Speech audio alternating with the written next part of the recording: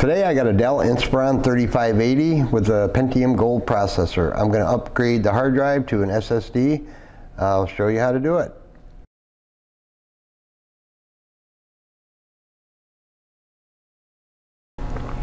Hey guys, how's it going? Dale here. Today I got this Dell Inspiron 3000 series 15.6 inch laptop. It's uh, the model is 3580, Inspiron 3580.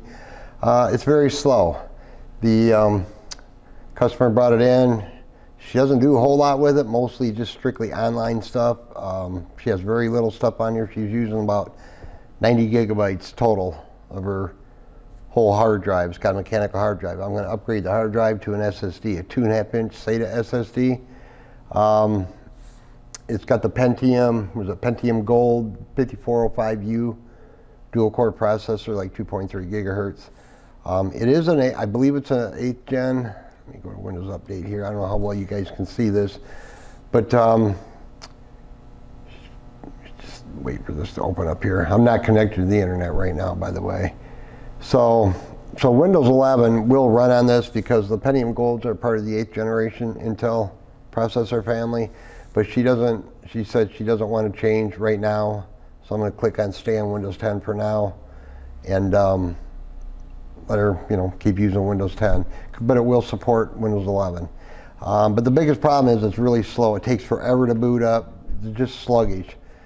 The processor doesn't help, but I've worked on so many of these 3580s. Uh, with the hard drives, they're just clunky and slow. So I gave her an option. Inside of this, there are two ways to upgrade. It does have an M.2 slot for an NVMe SSD, and it's got the two and a half inch bay for a two and a half inch. Uh, we chose, or she chose, the MX500 Crucial 500 gig SATA SSD. It's more than enough space for. I always give the customer a choice. Do you want an NVMe or do you want to go with the SATA? Budget has a lot to do with it with, with a lot of my customers. They just want it to go faster, but they don't want to spend a lot of money. And plus, this week, all I got left in stock are one terabyte NVMe SSDs. I got a crap ton of SATAs, various sizes like this. And, you know, the cost difference you know, they weigh it, you know, and they're like, no, I just, they didn't want to spend the money on a one terabyte. I've gone through all my 250 and 500 gig M.2 drives because this is right after Christmas, between Christmas and New Year. I'm just kind of sold out. I get tons of people that come in here. They get cheap new laptops for Christmas that only have like 128 gig, you know, SSD in it, and and they want to put music and all their pictures and stuff on it. Pretty soon the drive's full in like 10 minutes. So I've been doing quite a few upgrades uh, NVMe drives, like 501 terabyte. So anyway, all I got laying around, you know, in stock, I got like 21 terabytes left in stock at this moment. I'll get some smaller ones in that next week if she doesn't want to spend the money. So this is going to work great. Don't get me wrong, these are very fast. This is going to be three times faster, probably more than what she's got right now. And um, so what I'm going to do, I'm just going to simply open up I'm going to take the hard drive out. I am going to clone it over on my cloning station. If you wanted to clone this yourself at home, all you would need is a little USB adapter like this to SATA SSD. Just plug it in. and these are like 10 bucks on Amazon. These adapters goes right into the USB port, just like that. You can get these in USB-C as well. And you can download, like in this case, the Crucial uses the Acronis True Image cloning software. It's totally free. I'll stick a link down below where you can download it and install it on the computer and just clone it this way, right from the hard drive right onto this, shut it down, take out the hard drive, put this in, and you can also get an adapter if you are doing the NVMe upgrade. Just a second, let me grab one here. You can get an adapter like this. I'm just showing you the different options, guys. This is uh, USB A or C. Uh, this adapter here works great for M NVMe drives. This, this one here supports only NVMe. M.2 drives, not SATA M.2. So I use these a lot in the shop, but for time sakes, I'm just gonna pull it, do it on my cloning station over there. It takes about five minutes and boom, get her up and going. But I am gonna get the um, Windows 10 all up to date because I think she's got 21H2. I'll probably put 22H2 Windows 10 on it for her, make sure that's all up to date. Not the 11, just Windows 10 22H2. But one thing I always tell you when you're doing a clone, whether you're pulling the hard drive out and doing it on another computer, or if you do it with the with the USB dongle like I got here, all Dells, eighth generation and newer, I've been noticing that they're all, if you go to you go to settings, go to update and security, you have to disable device encryption right down here. Click on that. I already did it on this one. It was enabled. Um, it took about two hours, two and a half hours to shut off drive encryption. How fast it turns it off is solely dependent on the speed of the processor. On a faster system with like an i5 or an i7 or something like that, it goes a lot quicker. But you can see I got it turned off. When you're all done, you get the new drive in. After the cloning, you can always turn this back on. It's not that big a deal. It turns on a lot quicker than it turns off, trust me. But you have to do that, otherwise your clone just won't work when the encryption's enabled. So make sure that is disabled first and foremost. So like I said, I'm, I'm going to basically shut it down, pull out the hard drive, clone it over there, and come back and put it in, boot it up, and then I'll just kind of tune it up, clean it all up, and get it all running good. So let me go ahead and shut it down here real quick. Unplug Mr. Power cord. I just got I got tape on it in a couple places, cover up some of our private stuff, just trying to respect their customer's privacy. That's all that is. That's all that is. it does have a lighted keyboard. This model has a lighted keyboard. It is a touch screen. It's got an optical drive over there. Does not have USB-C, but it's got SD card slot inside there, another USB port there, two USB over here. It's got Ethernet, HDMI.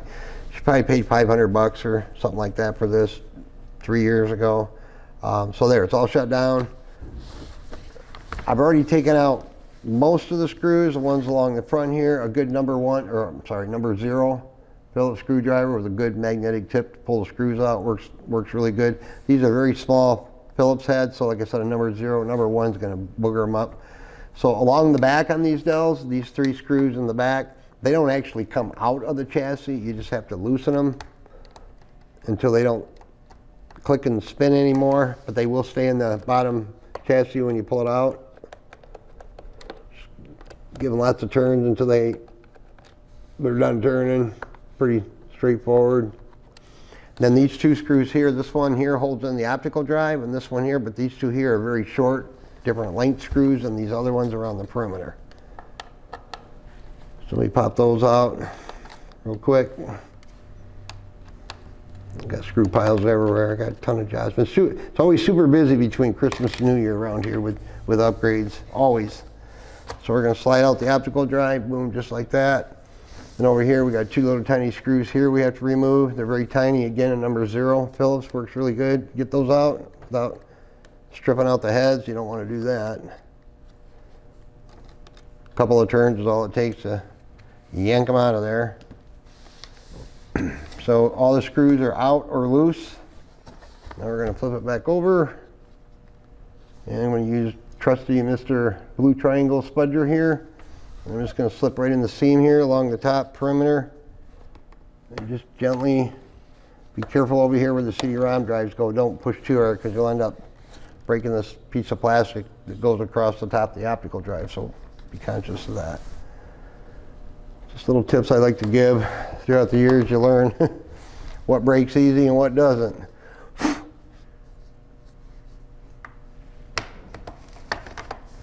Pretty much that simple, guys. So I'm going to carefully close it. It's still turned off. Of jiggle it a little bit here. It should pop right up. Boom. Not too much force at all. That's the bottom, the inside of the bottom. Um, if you're a novice and you're not comfortable poking and prodding around in here, I would recommend it anyway, I guess. Unplug the battery. Um, you don't want to drop any screws or screwdrivers onto that motherboard because you will fry it in two seconds. Here's the hard drive, here's the M.2 slot. Like I said, this customer, after given the choice, they just want to go with the cheaper alternative here, but either way, it's going to make this thing a whole lot faster. But you typically could put an M.2 NVMe SSD over here, put a one terabyte or whatever, two terabyte hard drive or another two and a half inch SSD and have get lots of storage going on here. So you got a couple options there. It's got eight gigabytes of DDR4, which is good, better than 4 gigs. It's got an extra slot. I have put um, 32 gigs in these before just to see. I haven't tried 64. But I believe with those Pentium being part of the 8th gen, the 5405, I think Intel will say that uh, the CPU will support up to 64 gigs, but I think that depends on the motherboard. I'm not exactly sure the chipset that's on this board on these models. But I have done 32, 16, 8, 4, whatever, um, with no problems at all. But um, I also asked her about adding more RAM. No, she didn't want to do that right now. Again, it's just a money thing. Everybody's broke after Christmas, you know. So we're going to pop this out, but first I'm going to unhook the battery. This cable just pulls straight back, not up, but it just slides back out of that little connector there. Uh, well, you can see this, but I'm just going to take my little nylon non-conductive tool here. Try to get a hold of the edge there.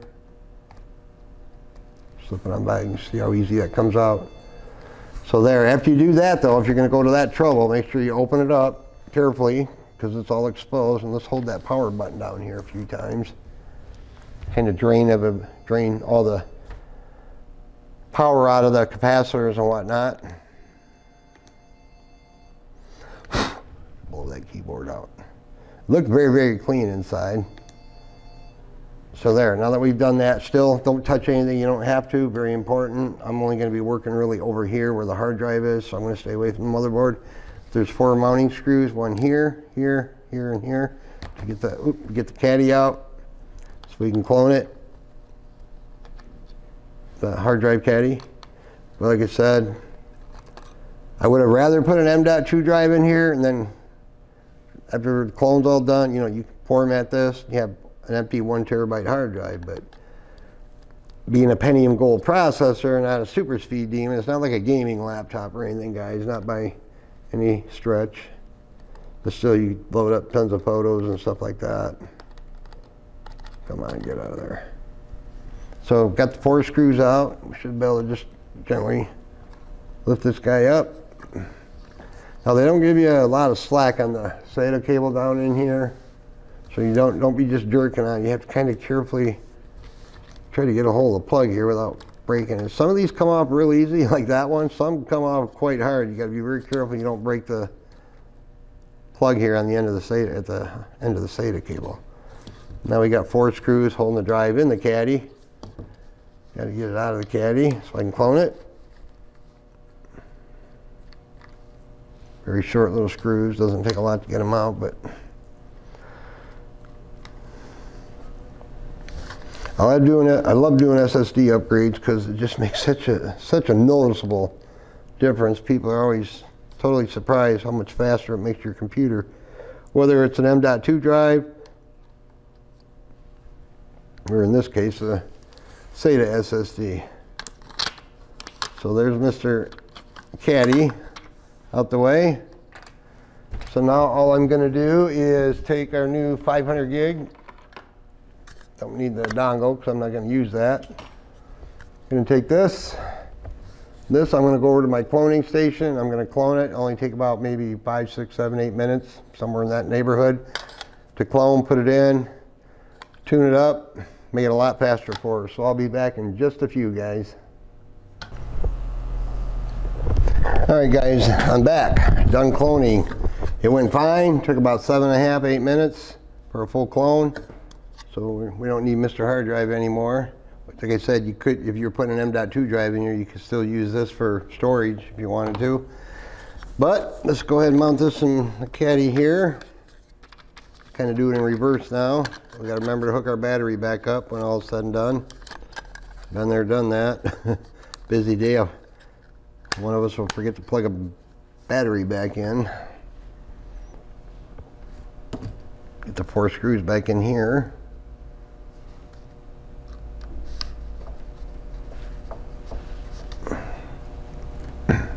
Hope everybody had a good Christmas. Fun Christmas, family time. I know where you, you know, where I live here in northern Michigan, boy, we got hammered. We got a lot of that blizzard here. Started snowing like Thursday morning before Christmas weekend, and it snowed all the way through Tuesday morning the following week. We got a lot of snow. We got some areas like almost about two feet one dump, not counting the drifts, the wind, cold. So gonna put that back in carefully, try to plug it back in here. It's very hard, I know my hand's in the way guys, but I just gotta get this cable hooked back up. Hopefully you have a good new year. Stick to all your resolutions, whatever they may be. Mine is uh, stay busy and keep working hard. Hoping to get, I was hoping I get hit 30,000 subscribers by the end of this year, but only got a couple days left. I'm not sure if I can make it. I'm 29.3 plus, I think, is where I'm at right now. So if you haven't hit subscribe, do it now, please. and hit the like button and ring the bell so you can get notified when I put up a new video.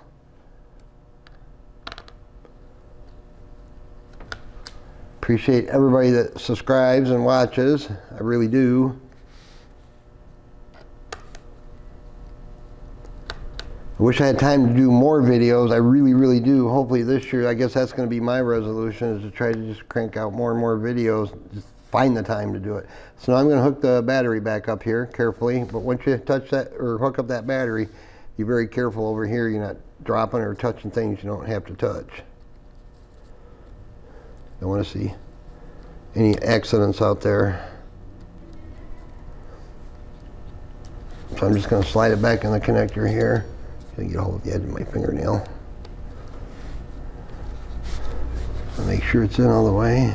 Mm, Ooh, stomach was growling. I hope you guys didn't hear that. Sorry. All right, we got we got battery. We're not doing any more RAM. She didn't want to do that. We got this we're good. And I already checked as far as clean, cleanliness. This thing is like spotless inside here. Very, very clean. Very clean. So no worries there. If there's any amount of dust buildup in there, I definitely would have the air compressor to it. So I'm not gonna I am going to lock these screws down in the back here just for opening and closing on the hinges. I don't want to anything to pop apart on me. Once I'm completely done, I'll button it back up with all the rest of the screws here, obviously, but I don't ever do that until I know for sure. Got a good clone or whatever. Now when you first turn these on after doing a clone, either, you know, a different computer or if you're using the dongle like I was showing you earlier, when you first boot these up, Windows likes to do a quick scan of the drive. It'll check all the partitions, make, every, make sure everything's kosher. That's normal, so don't panic if it comes up and says scanning and repairing or scanning or whatever. Gonna put our two little screws back over here for the optical drive. I want to pop that optical drive back in for the first boot just so it's in there and all the drive letters are where they're supposed to be. But going with a SATA SSD is definitely the least expensive way to make your computer a lot faster. Said I wasn't going to put all the screws back in, but put these two little short ones in here and here for the optical drive.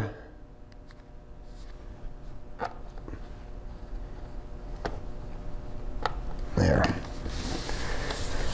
not sure, this is a touch screen, Pentium Gold. I'm not sure if it's a, I got a, I just grabbed a Dell 45 watt adapter. It could be a 65, I'm not sure. It should be a 45, but there, I got power cord. Let's turn it on for the first time and see what happens.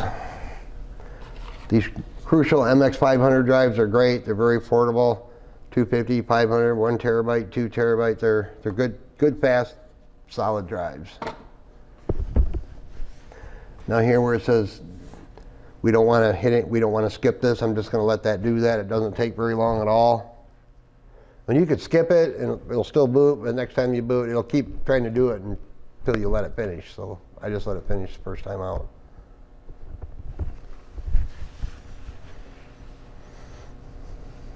Uh, that glossy screen is Hard to see there, guys. Sorry. You can see all my mess over here, the screen. Busy, busy. It already boots a thousand times faster. Holy cow.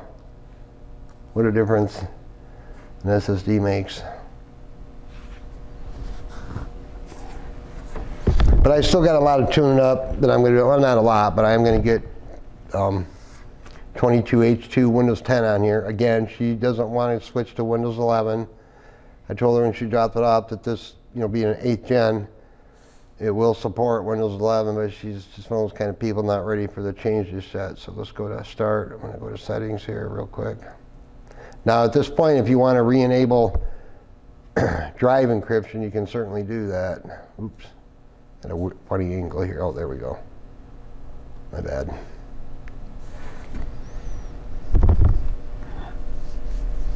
And again, I'm not connected to the internet because I don't want to start downloading updates right now. But I'm going to go to system here. I just want to looked at it real quick earlier when she brought in, but uh, my brain's just flooded with computers right now. So let me see. What about, yeah, it is 21H2 Windows 10, 8 gigs of RAM, of course. Um, open up File Explorer real quick. This thing is so much faster already, guys, I'm telling you. There's our 500 gig SSD. No problemo. So again, if you want to go back to home on your settings, get over here. Go back here to update and security. And down here in device encryption, you can click on that and then just turn it back on. And here's the 22H2 for Windows. I keep telling it to stay on Windows 10. Just, you know, I, it, it's going to end up getting Windows 11 on it. She'll just shut it down one night and not realize that it's downloading and installing. Excuse me, bug in my throat. Um, but anyway, I told her it's not the end of the world. It'll run just fine on here. I told her it's not that different. The amount of stuff. She keeps her desktop just the way you see it, clean. Uh, most of her most of her work is just done on the internet through the cloud. All of her work um, that she does is all through the cloud. She doesn't even have Office on here or anything like that. So anyway, we got a good clone. Got a nice little speedy upgrade for her. Um, yeah, appreciate you guys watching. Don't forget to subscribe, hit the like uh, button. That would be great, and ring the little bell. And I hope you all have a really good New Year, a safe New Year, and spend time with family, family first, and friends. Thanks again, guys.